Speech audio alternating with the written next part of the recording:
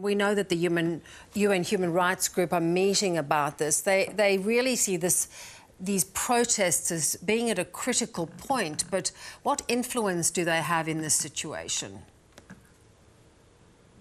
Well, I think, Bev, we have to be honest here that the influence is largely symbolic, in that you wouldn't expect the Iranian regime to listen to any type of uh, criticism that comes out of the United Nations Human Rights Council.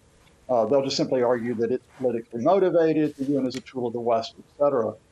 But what it does is it does provide to those people who are protesting in Iran a sign that the international community is watching, that they are cognizant of the reasons why the protest was developed over women's rights, over the death of women in police custody, notably Mahsa Amini, and the death of protesters uh, who have been killed by security forces. And that's important because this crackdown by the regime has been brutal at times. It has killed more than 400 people, including more than 50 children, yet the protest will not stop. Uh, they, they will not be denied, as it were. So you can expect this to go on for some weeks and even months. Yeah. What do you feel, having seen protests like this before, is different about this movement? Well, in 2009, we did see millions of Iranians take to the streets after the disputed presidential election, believing that it had been rigged uh, in favor of the supreme leader's favorite, Mahmoud Ahmadinejad in that case, the regime was able to eventually put down the protest by decapitating it, by detaining uh, the leaders of the Green Movement. Uh, for example, Mir Hossein Mousavi and his wife, Zahra Rahnavard, who are still in house arrest after 11 and a half years. This time, the regime is finding it more difficult to stem the protest across the country, all across the country, because it really doesn't have leaders. It doesn't have a single political figure that you can just put away and try to take the steam out of the demonstrations by saying, well, look, who will take you to the streets now? It was women who went to the streets of Iran and young people who've gone to the streets of Iran. And increasingly, it's been, for example, people in different areas of the Iranian economy, workers from automobile manufacturing to the oil industry with their own economic and social concerns so with those decentralized protests, the regime is really scrambling to find a way to close this off. Mm. And when you kind of see the public defiance of the Iranian soccer team, of, of popular actresses and, and influential people within Iran, there's a defiance that we haven't seen before. It's a, it, it, there's a sense that they don't feel they have anything to lose at this point it's a sign that they are willing to stand up to the threat of arrest, the threat of detention, the threat of losing their careers uh, at the very least.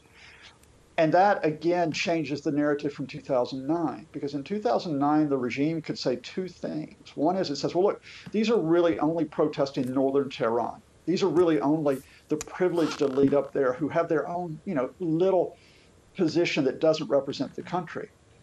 And then the regime would also say, as it's doing this time, these are foreign instigated protests. It's the US, it's Europe, it's countries like Australia. They're stirring up trouble here. The more you have Iranians who may be athletes, who may be filmmakers, who may be educators, who may be lawyers who stand up from within Iran and say, no, th- this is me. This is not Uncle Sam talking. This is not Europe talking. This is me. This is not a privileged elite. This is me. The more it undercuts the regime's legitimacy in trying to say, you know, we are the real victims here and not the demonstrators. Yeah. Give me an idea of what you think could give the regime a way of of making some concessions, concessions, changing tack a little. I mean, Bev, there's a forward way to do this, and I hesitate to say this as an outsider, but if you look at it, if you listen to the grievances that start with women's rights, that start with their political and social space, including compulsory hijab, then that would be an important step. If you listen to their grievances about how women and others have been treated in police custody, because it was the death of Mahsa Amini after she was reportedly beaten by morality police that started this, that is a step forward. If you release some of those who have been detained and held, including foreign nationals, in recent weeks, that's a step forward. But all of these steps are limited. In other words, the path to listening and dialogue is limited because the regime is divided. Mm. You do have some within the regime who think, look, we have really got to start trying to find some middle ground here. But you have others, especially in the Supreme Leader's office, who think that even discussing these requests of the protesters for social and political rights, that this would show weakness.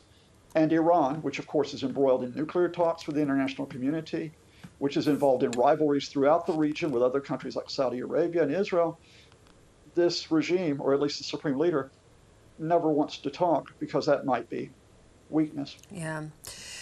Let's just switch to Turkey's president, another man who doesn't like to portray any weakness. What, what do we make of the renewed military operations and the threat to expand them? Well, unlike the supreme leader of Iran, uh, Turkey's president, Recep uh, Tayyip Erdogan, does have to be reelected in 2023. And one way to make his reelection pitch is to say, I'm, I'm the tough guy defending Turkish interest. And he's doing that by taking on a long term battle, which is with, he would call uh, the Kurdish insurgency, what others would see as just simply Kurdish groups seeking rights within Turkey who have a Syrian affiliate. So this fight against uh, the Syrian Kurds is one where Erdogan in the past has launched ground offensives, such as 2019, to take territory in the northeast of the country.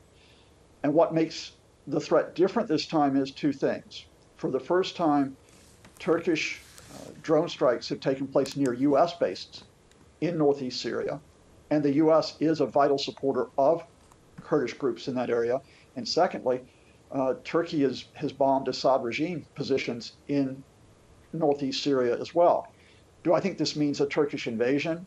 Not necessarily, but I think Erdogan and the Turkish leadership are testing the reaction of the United States and of Russia. Will they stand up to us? And if the US and Russia don't stand up to at least these airstrikes, Erdogan may think he has a, an open space to push farther with ground operations. Yeah, and Russia is distracted. Always great to chat. Thanks so much. Thank you, Bev.